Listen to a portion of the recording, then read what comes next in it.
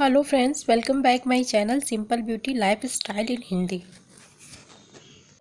friends आज की मैं इस वीडियो में आपके साथ शेयर कर रही हूँ कि किस तरह से एक सिंपल सी रेमेडी से आप घर पे ही गोरापन पा सकते हैं।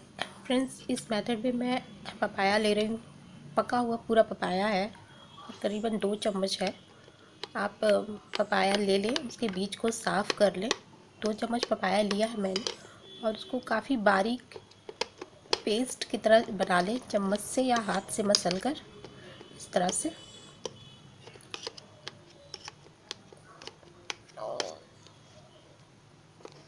देखिए, मैंने इस तरह से बारीक पेस्ट बना लिया है। फ्रेंड्स पपाया में कुछ ऐसी गुडनेस होती है, जिससे काले स्किन को भी गोरा किया जा सकता है। स्किन की परत में जाकर ये स्किन को साफ़ करता है, चेहरा गोरा बनाता है। तो दो चम्मच मैंने पपाया लिया है।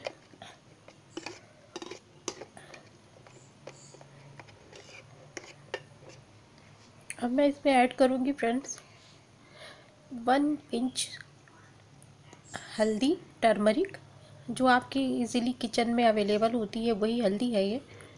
बस एक पिंच ही मैंने डाली है इसमें।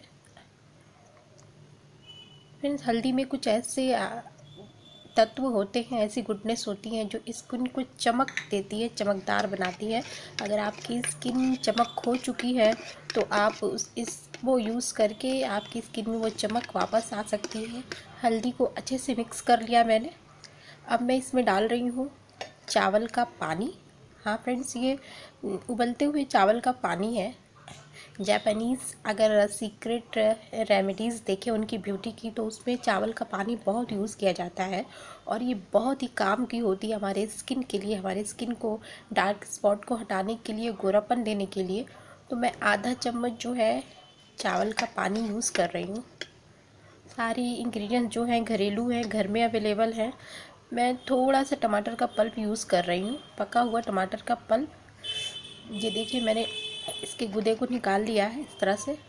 और इस टमाटर के पल्प में भी ऐसे एंजाइम्स होते हैं जो कालेपन को दूर करते हैं स्किन को और उनको गोरा बनाते हैं साथ साथ इन स्किन को शाइनिंग भी देते हैं। अब अप्लाई करके दिखा रही हूँ। फ्रेंड्स ये आप एक हफ़्ते तक तीन से चार दिन, एक हफ़्ते में तीन से चार दिन आप इसको यूज़ कर सकते हैं। और ये पंद्रह मिनट तक इसको ऐसे सूखने दें। पंद्रह मिनट के बाद इसको नॉर्मल पानी से आप धुल लें।